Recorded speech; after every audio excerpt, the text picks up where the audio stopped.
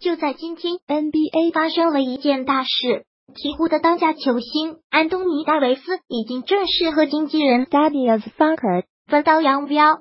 在二零一五年七月一日，鹈鹕队和戴维斯达成五年一点四五亿美元的续约协议，目前合同还剩下两年。而戴维斯选择辞掉经纪人的目的非常明显，就是奔着大合同去的。继美国有名的薪资专家 Bobby Marks 的报道，戴维斯最大的目标就是拿到一份五年二点三亿美金大合同，这或许是史上最大的合同。戴维斯可以选择在明年提前和鹈鹕完成续约合同，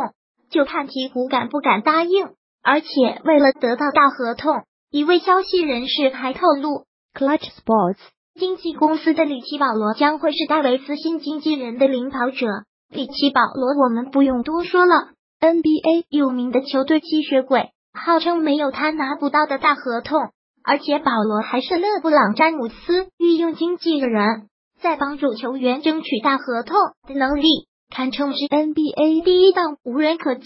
是 Clutch Sports 经纪公司的王牌，有保罗帮助戴维斯施压鹈鹕，球队的压力巨大呀。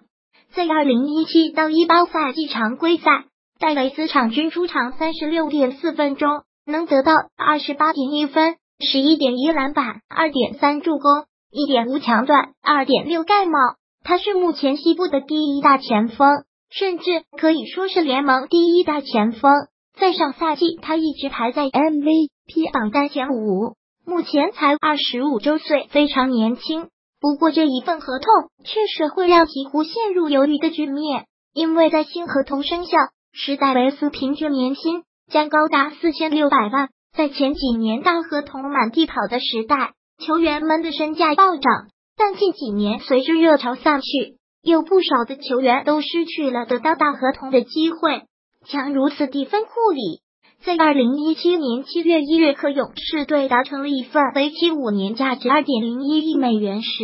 球队都曾犹豫过是否要给库里这么多钱。那时候的勇士管理层显得很犹豫，但最终还是给了，因为库里给勇士带来了总冠军。而这次戴维斯的合同是二点三亿美金，这并不是一笔小数目，而且鹈鹕还必须得掏钱，因为他们没有别的选择。如果不掏钱的话，戴维斯大概率会去湖人，因为他一直想去洛杉矶，甚至戴维斯会像保罗·乔治和伦纳德那样指定非湖人不去，倒是湖人就等着空手套白狼。